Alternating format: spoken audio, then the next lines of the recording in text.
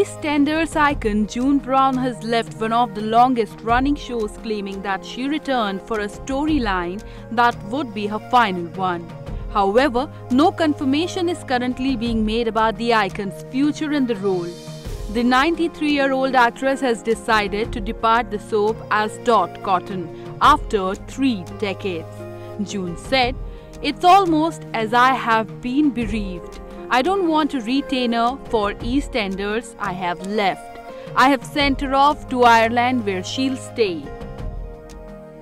The character Dot Cotton, known for her chain smoking, has been a staple of the show ever since and is one of its most beloved characters.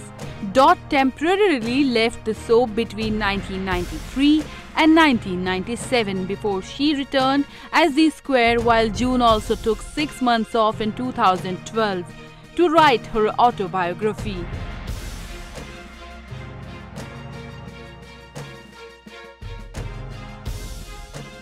News Desk